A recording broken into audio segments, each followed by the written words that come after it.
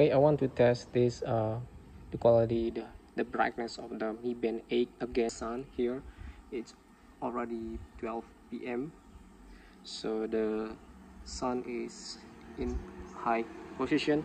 So you can see this is how the brightness of the Mi Band 8 this is auto not full brightness but it means also the system will capable to make the brightness in full because we are in the very brightness position so the system will increase until the high res, res high res this high res brightness. So you can see this is the quality of the Mi Band 8 against the sun. It's very bright.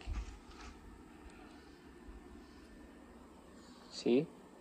And I will test in a moment for the always on display so as you can see now this is the quality of the very bright of the always on display. So if you're working on the outdoor with this kind of condition very bright with a sun already in high position so all the you need to uh, take closer more uh, to your so to your art to see actual time or you can just raise or to wake up or just click or, or just touch on the screen to make to see the the time more correctly with very bright display. So this is audio quality against the sun. You have an idea if you think this watch is worth it for you. But for me i really love this watch because i always working indoors so it, I, I have no problem with the quality of the highness of the display.